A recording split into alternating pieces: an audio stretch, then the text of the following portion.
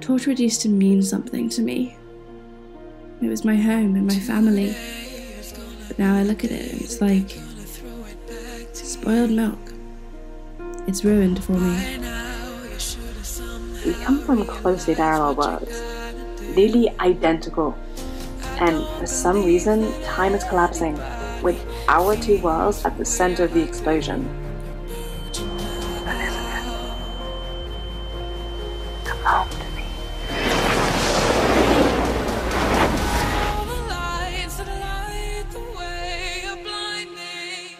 We're trying to communicate between timelines.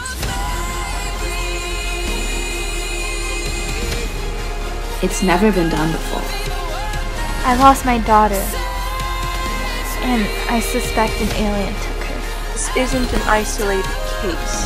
Hundreds of children are going missing all over the world. He's heating up!